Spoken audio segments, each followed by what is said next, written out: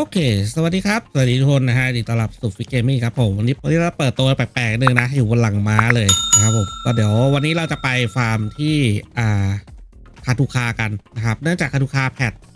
ล่าสุดเนี่ยที่เพิ่งปรับมานะครับเขาปรับให้ตัวจำนวน monster เนี่ย มันเยอะขึ้น แล้วก็อ่า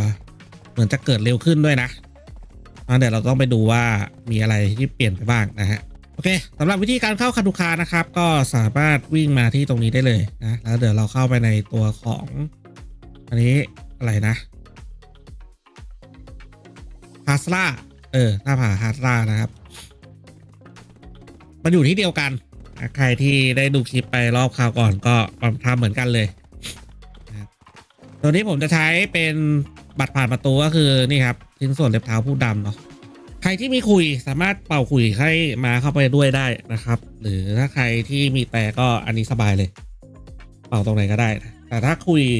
ถ้าไม่มีคุยต้องเอามามายืนใกล้ๆเนาะโอเคพอเข้ามาเรียบร้อยแล้วครับ เป่ามาเข้ามา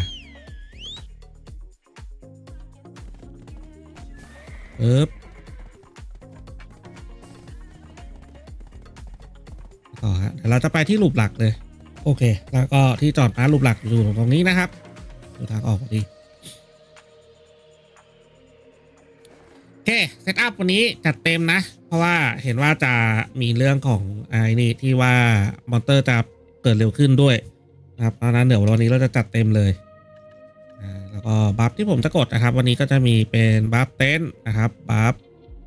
อ่า buff ที่เมือง buff ที่โบสถ์นะครับสองอัน แล้วก็อาหารคอร์สดีเยี่ยมนะครับ เดี๋ยวจะมีกินเป็นตัวของยายักษ์ด้วยนะครับ ผม setup ตัวยารอเลยนะครับก็เดี๋ยวเรากินอ่าคูณ drop เนี่ยเราจะใส่เป็น drop สิบเปอร์เซ็นต์อันนี้นะครับ แล้วก็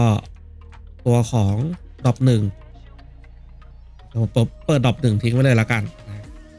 โอเคครับเพื่อไม่ให้การเสียเวลาเดี๋ยวเราไปกันเลยแล้วกันนะครับกดใจเบลเรียบร้อยกด buff มาแล้วลุยเลยครับ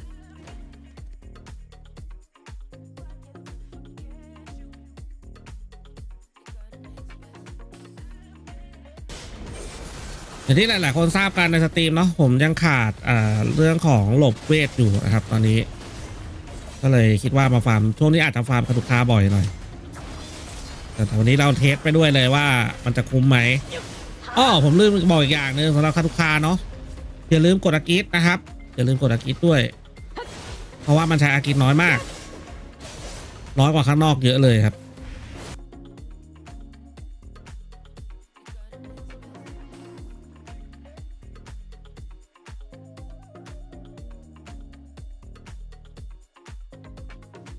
ผมก็จะฟาร์มสองห้องนะ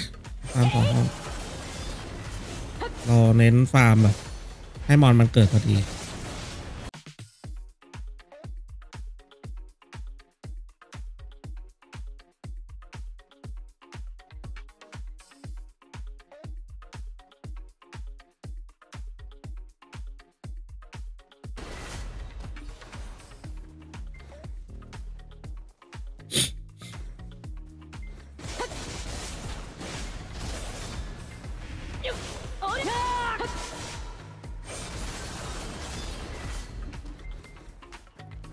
You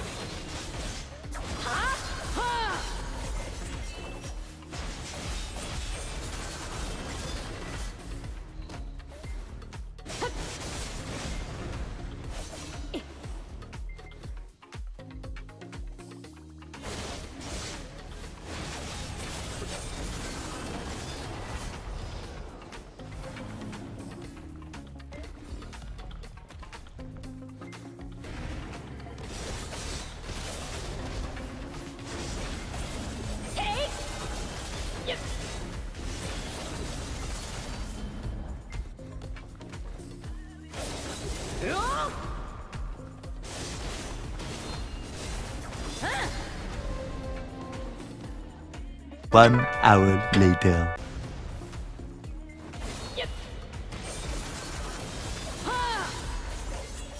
โอเค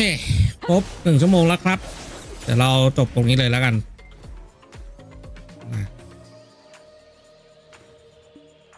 อะเรียกมามาครับปิดตัดเลี้ยงก่อน แล้วกลับไปดูของกันที่เมืองแล้วกันนะครับ วันนี้ได้กันที่โคตรเยอะ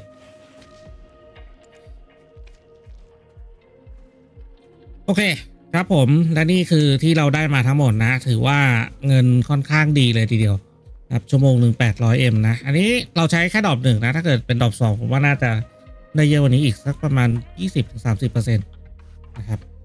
ที่เราได้มาหนักๆก็คือขยะครับวันนี้ได้มาสามหมื่นกับสามหมื่นสองนะเยอะขึ้นมาจากเดิมเยอะมากนะครับ